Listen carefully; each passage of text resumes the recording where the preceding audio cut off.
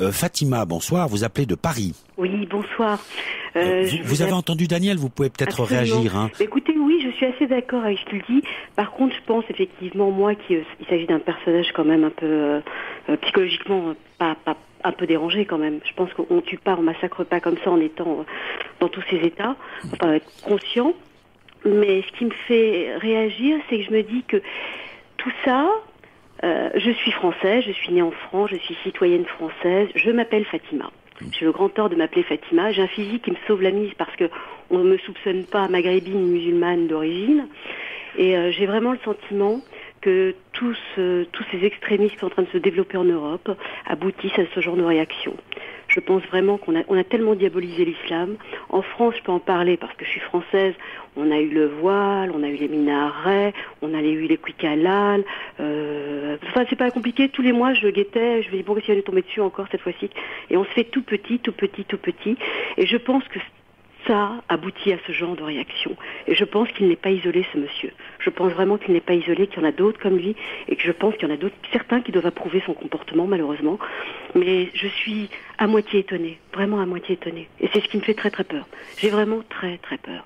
J'ai, je, euh, maintenant, quand on dit qu'on est musulman, on, est, on, on, vous soupçonne presque d'avoir une bombe dans votre sac à main, ou vous êtes un rétrograde. Ah bon, t'es musulmane, t'as pas de fleurs sur la tête. Ah mais tu fais le ramadan. Ah mais comment, c'est possible.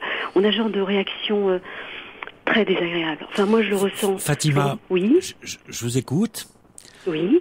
Je sais pas quoi vous dire parce que euh, évidemment. Euh, voilà, moi j'ai une gueule de français moyen, hein, bon voilà, et, et, et, mon prénom euh, n'est pas le vôtre, hein, bien sûr. Donc je n'arrive pas à réaliser ce que vous me dites. Je suis sidéré. Écoutez, je, je, je, je comprends, je comprends, mais je suis et, sidéré. Vous savez que mon physique, les gens ne savent pas, donc euh, une fois que je réagis, ils comprennent. Mais sur le coup, ils parlent assez librement. Ils se parlent assez librement parce qu'ils savent pas qu'ils ont une Fatima en face d'eux. Et là, je peux vous dire, j'entends des propos, mais euh, mais je vous assure, j'en ai peur. Je suis née en France et je pense, quand j'étais jeune, bon, il y avait un certain racisme. Mais fa Fatima, choses, vous, oui. vous n'avez pas l'impression que, comme disait Crozier, on ne change pas une société par décret. Donc non, il faut peut-être du temps pour que les mentalités non, changent. Non, non, parce que je pense que c'était bien parti, c'était vraiment bien parti. Malheureusement, il y a une crise économique qui nous tombe dessus. Il faut un responsable. Moi, je sais pas, ça me rappelle un peu l'histoire. Euh, euh, il faut un bouc émissaire. Donc, bah, écoutez, l'identité nationale, euh, un tas de choses comme Donc, ça. Donc, vous avez l'impression qu'aujourd'hui, euh, même si ce n'est pas euh, ouvert, on va dire, euh, en tout cas dans, dans, dans la sphère publique, c'est pas dit ouvertement, euh, puisqu'il y a des lois antiracistes et tout ça, vous sentez monter plus de préjugés, plus très de haine Sincèrement, oui. Et je, très sincèrement, je le sens, mais très très fort, mais très, de plus en plus fort, de plus en plus fort, que, que des fois je me dis, bah, je vais partir, mais je ne sais pas où aller.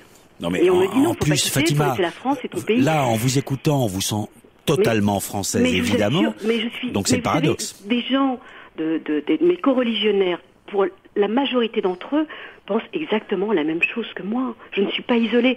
Bon, c'est vrai qu'on a des, des burkas, et je suis, mais alors si vous saviez combien, combien je suis contre cette burqa, mais c'est pas comme ça, c'est pas en, en, en, faisant des lois qu'on va. À la limite, on, on, on, les. Moi, ils me font aussi peur que, que à Monsieur Dupont, euh, qui, qui, vit dans le Gers, euh, dans donc, le du Gers. Donc cet attentat d'Oslo pour vous, c'est révélateur d'un mouvement plus général, y compris en France, cette montée de des préjugés. Ah oui, moi ça me terrorise, ça me terrorise. Fatima, Fatima, oui. merci pour votre